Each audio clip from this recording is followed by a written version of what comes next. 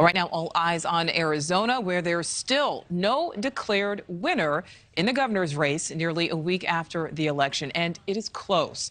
We are expecting an update from Maricopa County officials within the next hour. This is a live look there right now, and we'll bring that to you right here on Rush Hour. Meantime, our partners at Decision Desk HQ say Democrat Katie Hobbs has a slight lead over Republican candidate Kari Lake by just one percentage point.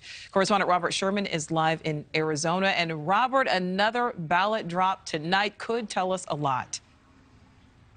And it's going to be a big one, Nichole. I mean, this is really the ball game here tonight. The unofficial guidance we've received is that we're going to get the last of those mail ballot drop offs from Election Day coming out tonight. Uh, we do want to show you a live look inside the tabulation room. This is kind of what we're looking at here. You're looking at about 85,000 to 95,000 votes still outstanding here in Maricopa County. You look at the whole state of Arizona.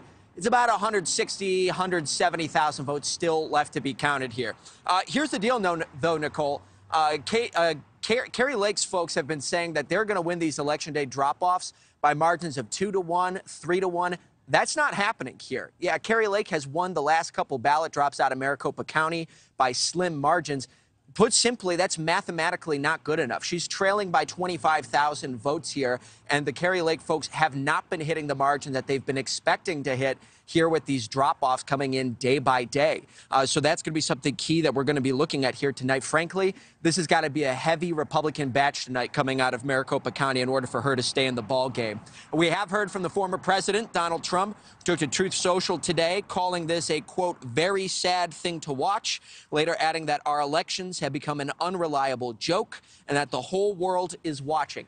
Again, emphasizing from election officials, they say there hasn't been any mischief here. They have not been seeing uh, anything nefarious going on here. The reason that this has been taking so long to count all these votes, Arizona state law. Arizonans are allowed to drop off mail in ballots on election day, and it takes days in order to go through the process of signature verification and things like that.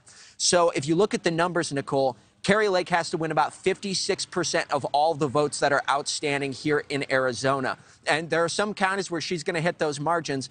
One to keep an eye on, though, is Pima County. That's Tucson, Arizona.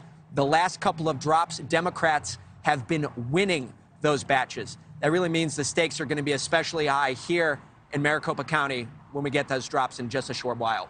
All Nichole. right, Robert, we'll be checking back in with you. Thank you. Thank you for watching. Go to newsnationnow.com to find News Nation on your television provider. And don't forget to click the red subscribe button below to get more of News Nation's fact driven, unbiased coverage.